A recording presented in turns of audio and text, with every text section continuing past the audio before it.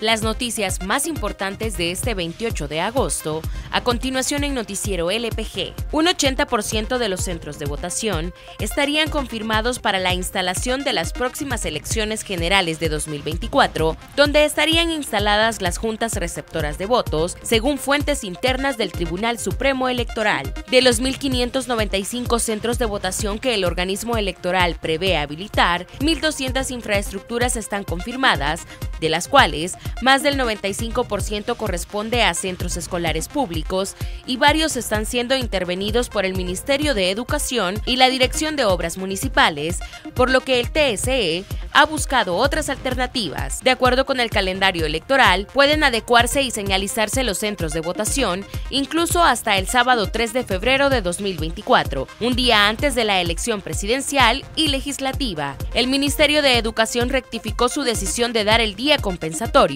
por los actos del 15 de septiembre, que en un principio no sería otorgado. Esto luego de las denuncias del sindicato de docentes por una educación para todos. Sindicatos de maestros habrían denunciado que Educación anunció a través de una circular que no daría el lunes 18 de septiembre como compensatorio a los actos del Día de Independencia, lo que sería una violación de los artículos 1 de la Ley de Asuetos, Vacaciones y Licencias de los Empleados Públicos y 21 de la Ley de Símbolos patrios. La mañana de este lunes, una nueva circular enviada por el MINED anunciaba que efectivamente será compensatorio el día 18 de septiembre para la comunidad educativa. La tormenta tropical Idalia que mantiene influencia sobre El Salvador, podría convertirse este lunes en huracán categoría 1 y el miércoles llegaría a ser huracán mayor con vientos a partir de 178 kilómetros por hora. El Ministerio de Medio Ambiente y Recursos Naturales explicó que Idalia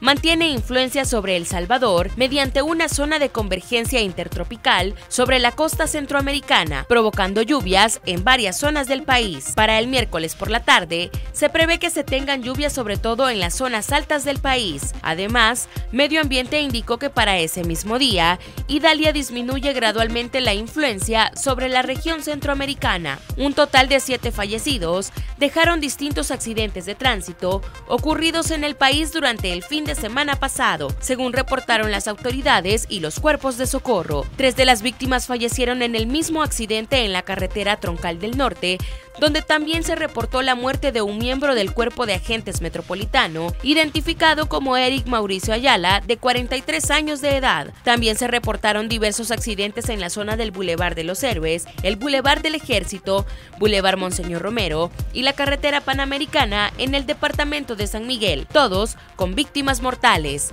Gracias por haberse informado con nosotros, les esperamos mañana.